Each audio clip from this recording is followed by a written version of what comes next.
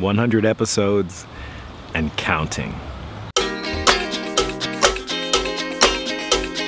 This is a word. This is a world premiere. This is a word. This is the 100th episode of Food for Thought. Who'd have thought that, first of all, I'd still be doing it and that you'd still be watching it? I hope that you've been enjoying the series so far. So, I've been here in Detroit and obviously been trying to um, bring you guys some new materials and keep you up to date on the project as it unfolds here.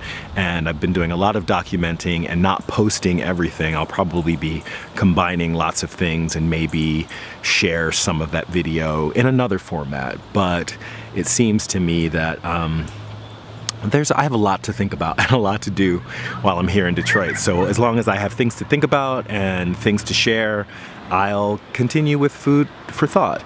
I still have a group of young people from Purchase College in New York City and they're at the house and they're keeping vegan and they're being awesome and we're having a wonderful time and we're sitting around a campfire at night and telling stories and just being awesome together in this really beautiful amazing place. Oh yeah, I don't know if you noticed but there's a there's a there's a vineyard in the back and the vineyard is part of another project that I'm that I'm working on that's all part of it's all part of the same thing. It's all great stuff and you're gonna learn about all of it. So just keep checking into the channel. That's it for this video. Like it if you like it. Share comment subscribe.